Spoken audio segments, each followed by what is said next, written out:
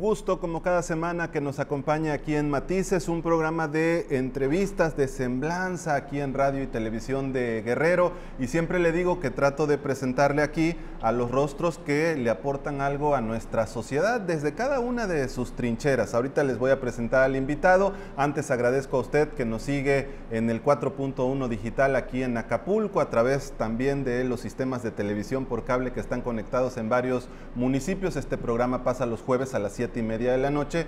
Ahorita que acabemos ya se queda con las noticias y lo repetimos eh, las noches, los sábados. Pero aparte está en YouTube, en el canal de radio y televisión de Guerrero. Hay una lista de reproducción con todos los rostros de eh, los entrevistados que aquí hemos tenido. Bueno, está con nosotros el periodista Manuel Nava García, un gran amigo al quien le agradecemos bastante. Además, él forma parte también de Radio y Televisión de Guerrero. Usted lo ve constantemente ahora eh, como analista financiero en nuestros espacios de, noticias, porque luego ese tema económico no se aborda mucho, ¿verdad? Y menos en el ámbito local. Pero yo quiero eh, platicar hoy con la persona, con, Manuel Nava. Cuénteme, ¿en qué momento decidió usted que se iba a ir por ese camino del, periodismo? Porque ahora tenemos carreras de periodismo, eh, de comunicación, pero hace muchos años era, diferente, ¿no? ¿O cómo fue esa espinita que fue naciendo ahí? Así es. Bueno, eh, gracias Irving, ante todo, por la invitación y, a la audiencia. Eh, pues ante todo decirte que mm, a mí me empujaron al periodismo. yo estaba mi proyecto profesional era estudiar ciencias de la educación.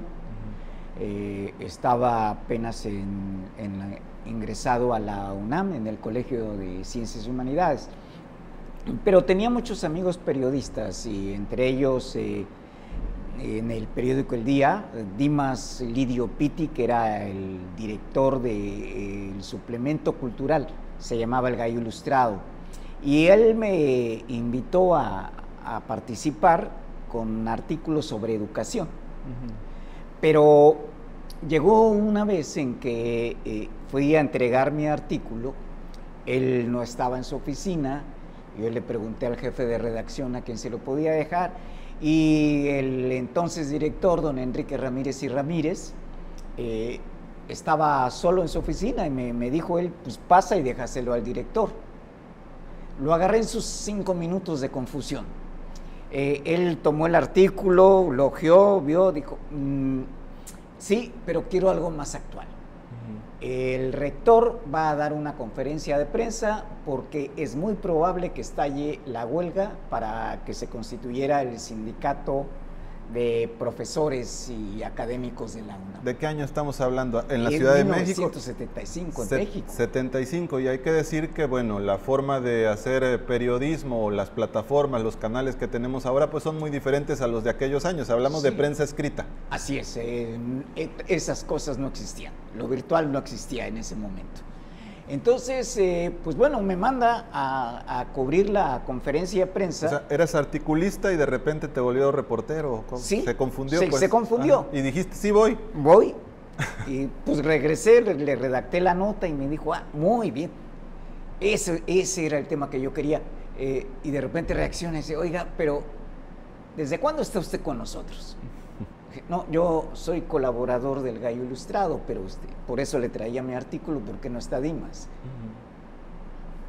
Bueno, este, tiene usted patas. ¿Le gustaría quedarse con nosotros? Y bueno, acepté. ¿Y entonces qué pasó con lo de la educación?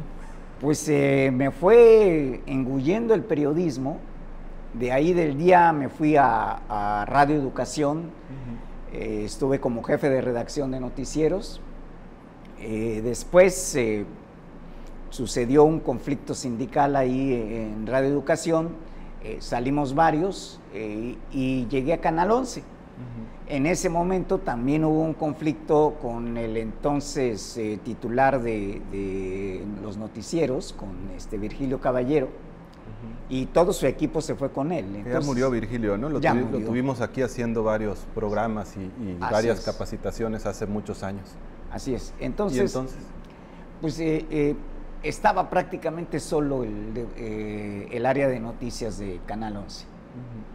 Y ahí Pablo Marentes, el entonces director de Canal 11, eh, vio mis primeros trabajos organizando los noticieros.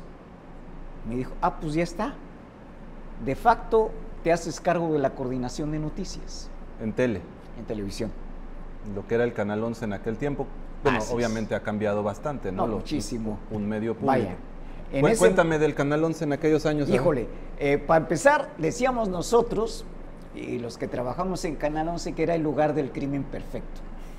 Ahí podías matar a alguien en horario triple A y nadie se iba a dar cuenta. ¿Y nadie lo veía o cómo? Nadie lo veía. ¿Era poquita la cobertura ahí en la ciudad? Eh, eh, era, sí, una cobertura un tanto eficiente porque... el, 11 es del IPN, ¿no? No es, del, gobierno. O sea, es un medio público, pero es del Instituto Politécnico del Instituto Politécnico. Y eh, el patrón de la señal data, databa entonces de 1966, algo así antes del movimiento del 68 y en el movimiento del 68, por precaución, el gobierno decidió trasladar la antena que estaba en el casco de Santo Tomás a el Cerro del Chiquihuiti. Donde Canal 40. Después. Así es. Sí, después ahí llegaron otras antenas, la de Canal 13 y otras. Eh, pero no se modificó el patrón de señal, entonces por eso la cobertura en el Valle de México era muy deficiente. Así que eh, cuando logramos, eh, bueno, logró Pablo Marentes cambiar la eh, señal, la cobertura de la señal, para hacernos notar algo que nos fue muy criticado y yo fui de los que aconsejó eso. Transmitimos una pelea de Fox por el campeonato mundial. creo que era Ricardo Arredondo, uno de los del canal Fox. Eh, no. No, o del... No, era de, eh, fue una pelea de box por el ah, campeonato. oí que dijiste Fox, ajá. Sí. Una pelea de box. Una pelea de box por el campeonato mundial. ¿Y eso no, no estaba permitido o qué? Pues, ¿O no eh, tenían los derechos o qué? No, sí, sí nos dieron el permiso, pero como estación cultural. Ah, por lo de los golpes o qué? Sí. La, pues la población reaccionó, sobre todo la intelectual, dijo, no, ¿cómo, cómo en un canal cultural van a transmitir box? Sí, apenas nos estamos adaptando. Apenas veía qué imagen transmitió el campeonato este del béisbol y decían hasta que nos ofrecen otro deporte que no sea fútbol. Entonces, ustedes visionarios, el box en aquel tiempo. el qué pasó? Box en aquel tiempo. Bueno, así nos dimos a conocer. Así este, eh, se dio cuenta la población de la Ciudad de México que eh, podían agarrar la señal de Canal 11. Y bueno, ya vinieron otras transformaciones, eh, diferentes programas eh, donde pues se difundió cultura, pues antes eh, en realidad se hacía poesía en coro o narraciones en coro, pero este, ya con Pablo Marentes se comenzaron a producir los programas. Difícil competir contra la televisión comercial, ¿no? Que tiene todos los recursos, que tiene toda la, producción. ¿Y qué pasaba en ese canal 11? ¿Y, qué, hacías tú? A ver, cuenta. Posible. Eh, nada más un dato para tener una idea de cómo era. Eh, lo que nosotros eh, nos gastábamos en Canal 11, en el presupuesto total, en un año, en ese momento Televisa se lo gastaba en un día. así de, grande era la diferencia. Bueno, a mí me tocó eh, estar a cargo del Departamento de Noticias. fue una situación de facto porque pues algunos en solidaridad no querían entrar a Canal 11, solidarizándose con Virgilio Caballero. Pero eh, pues fuimos formando también reporteros y, pudimos eh, entablar relaciones eh, comerciales con agencias de noticias, algunas que pues eran menospreciadas por los medios impresos de ese entonces, como Interpress,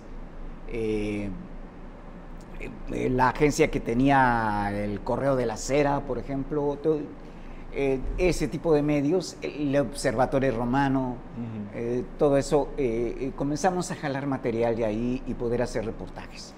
Y comenzamos a salir, a hacer reportajes. Este, vaya, era tan pobre la situación en que estábamos en ese, mm, que era 1977, que el Departamento de Noticias no tenía cámaras de video ni eso había un departamento que se creó que fue servicios fílmicos y las cinco cámaras que tenía el canal se tenían que distribuir entre todos los programas.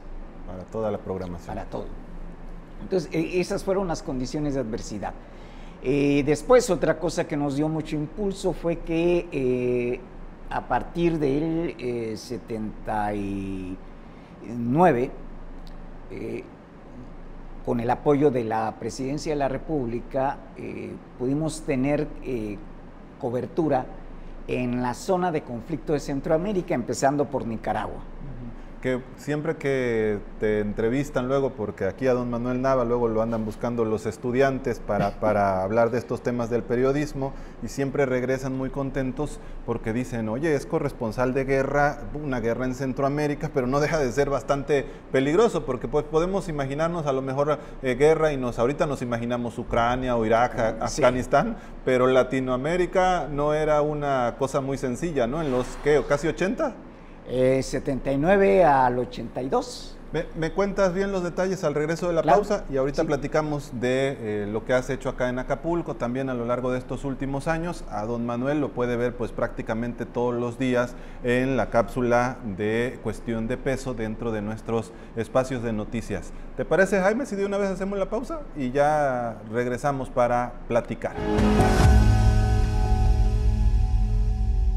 Platicando aquí en Matices con Manuel Nava García, él es periodista y nos estaba contando de aquellos años en el eh, canal 11 en los 80s y ahorita en el corte decíamos cómo eran las cámaras en aquel tiempo, pues nada que ver con lo que ahora tenemos en el celular, ¿no? No, claro, no, no, no, esas... Eh, ¿Eran de esas que traían la videocasetera aparte o cómo? Sí, eh, en ese momento eran Betamax y eran señores camarones. Eh, vaya, este, teníamos que pagar sobrepeso en los aviones nada más por llevar la cámara. ¿Y cuando fuiste a estas coberturas que fue Nicaragua, Salvador, esas cámaras llevaban? Sí. ¿Y cómo se mandaba un material desde allá? Porque, por ejemplo, ahora, pues si va la gobernadora o el presidente de la República a Tlapa, lo estoy viendo en vivo, o a Metlatonoc, y, y en algún punto vamos a encontrar internet, pero en aquellos tiempos en aquellos tiempos había dos maneras. Una que era este, eh, buscar un centro de transmisiones de... El satélite. De satélite que, hubiera. Sí, eso, costaba. Aquí llegamos a mandar desde el Telmex de allá del centro, llevabas tu cassette y por fibra óptica por satélite allá lo recibían en, en México, ¿no? Así es. Y el otro era pues aventurarnos a que algún pasajero que se trasladara de aquella ciudad hacia México, nos llevara el cassette y dándole instrucciones, ¿no? Va a estar fulanito a recoger este cassette ahí en el aeropuerto, no, no hay que hacer más. Y, pues así era como nos rifábamos, eh, arriesgándole a que, uno, que la imagen llegaba no siempre con oportunidad y a que, o que alguien pudiera vender esas imágenes. alguien pudiera vender las imágenes. cuéntame eh, así muy rápido eh, el tema de, qué eran esos conflictos, pero también la, cobertura, las anécdotas de ustedes, porque no están nomás llegar al hotel o, hay una zona segura, cuéntame. Uy, no, no, no. Eh, bueno, fue 79, me tocó la guerra, el inicio del estallido armado contra la dictadura de Anastasio Somoza. Eh, y había que trasladarse por los dos frentes, eh, el gubernamental y el del eh, Frente Sandinista de Liberación Nacional. Había, que trasladarse. Como guerrilla. La guerrilla en, ese momento. Y, pues, por ejemplo, bueno, también en El Salvador, en Guatemala, en Honduras. en ese momento estaba prácticamente incendiada toda Centroamérica así de lo, de lo más crítico que nos tocó vivir en Nicaragua, por ejemplo, fue que quedamos atrapados entre dos fuegos en una calle por, andar cubriendo. Eh, de un lado el ejército de Somoza y del otro lado el Frente Sandinista. Quedamos en medio de la balacera. Y a mí se me ocurrió malamente eh, que nos íbamos a cubrir metiéndonos debajo de un coche de los que estaban estacionados.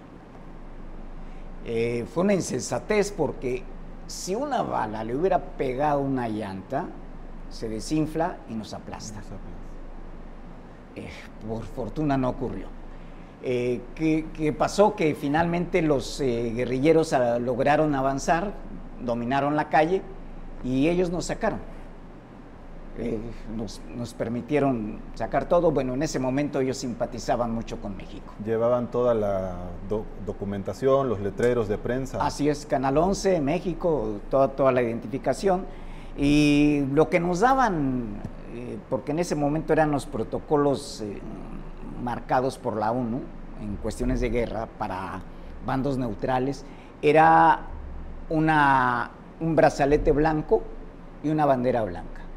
¿Nada más? Nada más. O sea, no son tan fresas como las coberturas que vemos ahora, que están desde el hotel con toda la tranquilidad y, muy cuidados, ¿no? Así es, sí, no, no, no, no. Nosotros tuvimos que infiltrarnos tanto en en el lado de la guerrilla como en el lado del ejército de Nicaragua, el ejército oficial. ¿Y para la comida? Está, eh, teníamos un lema que es este, come cuando puedas porque cuando quieras no vas a poder. De plano. Así es. Muy bien. Eh, ¿Y cómo llegaste a Acapulco? Voy a avanzar, me, voy a apurar porque se me va a acabar el programa. luego uno aquí, se pone, uno aquí se pone a platicar y luego el tiempo pasa. ¿Qué has hecho a lo largo de estos años acá en Acapulco, y en Guerrero? Bueno, eh, uno que ya... ya ¿Eres de la Ciudad de México o de no, aquí? No, de aquí, de Acapulco. ¿Y estudiabas nada más allá? Estudiaba allá. ¿La formación pues profesional? Sí, por, por la ¿Y cuestión regresaste? de todo. Sí, eh, regresé en el 85 antes del temblor. A, mí no me corrió el temblor de la Ciudad de México. Este, eh, regresé porque, bueno, ya mm, quería otros horizontes. Y entre ellos era eh, formar una especie de agencia de noticias aquí en Acapulco. Eh, llegué con ese afán y además este, con la experiencia de que desde el 82 o 83 más o menos, eh, fui parte de un grupo de periodistas y economistas en ese momento, 1982, ya sentíamos la crisis económica de, esas que hicieron crujir las estructuras del país. Esa. Entonces, ahí, está la beta económica, ¿no? Para que vean por qué estás como analista financiero. Exactamente. Pero, ajá, ¿y entonces? Porque, eh, eh, bueno, entonces eh, el reto que vimos en ese momento era poder convertir en noticia los fenómenos económicos y hacerlos comprensibles. ¿No existía el financiero, el universal? No, estaban haciendo, eh, bueno, el, universal y Excelsior sí tenían una sección de, finanzas eh, muy elevada y muy técnica. Eh, nació un periódico que fue El Centenario, unos meses antes de que naciera el financiero. Y el Centenario tenía otro enfoque de la economía, de economía social desde ese punto de vista. Eh, eh, ahí me tocó colaborar en un inicio, después esa empresa quebró, se quedó el financiero y, con esa experiencia yo llego aquí justamente eh, peleando la corresponsalidad del financiero en 1985. yo, yo, llegué pues antes del temblor, que sería mm, julio más o menos. Pero has estado también no solo desde el ámbito periodístico, y le, voy a avanzar más porque si no se me acaba el programa, has estado también del lado de, informar lo que hace el gobierno. Digo, yo también me ha tocado también cosas de, ese tipo y es toda una experiencia diferente, ¿no? Porque no es lo mismo, como dicen, el, de eh, ir a ser borracho que ser el, barista, ¿no? Sí, que ser el. ¿Cómo te fue? Pues bueno, tú fuiste director de comunicación social tanto en el municipio como en el Estado, ¿no? Como en el Estado. Y, a veces es difícil informar desde el área del gobierno y decirle a la gente lo que, están haciendo, porque pues el poder desgasta, ¿no? Así es. Bueno, pero mira, previamente, sí, de... de muchos años. sí, del 85 al 99 eh, estuve eh, en Novedades, El Sol de Acapulco, bueno, antes en el periódico Revolución de Rodrigo Huerta, y eh, de ahí, pues con la corresponsalidad del financiero. Pero este, en ese momento, los medios escritos de aquí, a, excepción de, Rodrigo, que sí tenía interés eh, veían que la economía y las finanzas no era para el público guerrerense, ni qué. Entonces hubo, que picar piedra para poder eh, hacer accesible la información financiera a la población. Ya en el 99, mm, pues me toca acompañar a, Seferino Torreblanca en la, la campaña para alcalde, esa que se ganó. Y ya em, a la hora del triunfo, palabras más o menos, lo que me dijo es, bueno, eh, mientras tú fuiste reportero de la fuente de economía, yo como líder empresarial eh, nunca te negué la información, siempre te di primicias. Eh, bueno, ahora te voy a hacer una oferta que no puedes rechazar. acompáñame, vente como director de comunicación social. Y pues yo siempre fui reacio a eso. Yo dije, no, yo no quiero ser un periodista de corbata, eh, porque es diferente la información institucional. Pero bueno, en este caso el proyecto fue el que me entusiasmó hacer las cosas de una manera diferente. Sí es difícil, ¿no? Poder comunicar ya desde el otro lado. Ah, sí, sí, claro. Porque siempre están los temas de la crítica. Y no es con ese gobierno o con ese político en particular, yo creo que es con todos, ¿no? El que tiene esa responsabilidad pues, ve, ve, ve difícil, ¿no? Porque hay, por ejemplo, los temas de las crisis turísticas, ¿no? Cómo contrarrestar el tema de la inseguridad y decirle a la gente, vengan, cuando en los medios están viendo otras cosas, ¿no? En efecto. Pero bueno, e-, ese ya va a ser otro tema. Ahorita dijiste que estuviste en el Sol y en el Novedades. ¿Qué sientes ahora que el Sol pues es totalmente digital y el Novedades de plano cuando echaron las motos a ese a ese las motocicletas que repartían el periódico cuando las echaron a ese tráiler, pues yo pasé por ahí ese día y dije, eh, ahora sí ya el Novedades se acabó. Se acabó. Un cambio total de paradigma desde los 70 hasta ahora. Así es, así es este la, irrupción, por un lado, de las nuevas tecnologías de la información y la comunicación, eh, desplazaron estos medios, a los dos, que eran los, los, líderes del mercado en ese momento, y el otro factor que dio la puntilla a todo esto también fue la pandemia. Entonces, eh, pues no se podía trabajar en las redacciones, había que estar desde fuera y el otro factor es la nómina. En los dos periódicos la nómina eh, tenía una antigüedad de mínimo de 15 años. ¿Cómo era trabajar en aquel Novedades de Acapulco? ¿Qué fue en los noventa y tantos? ¿95?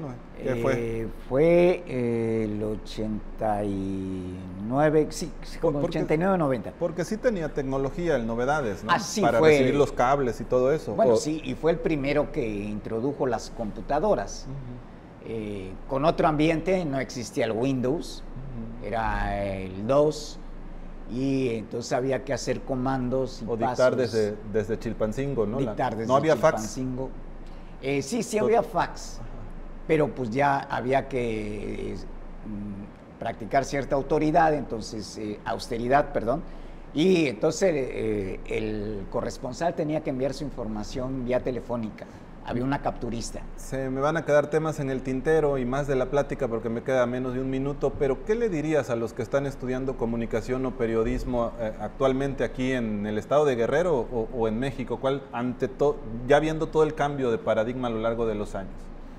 Pues primero que nada, que, no se espanten del ambiente que hay, de la perspectiva que se crea.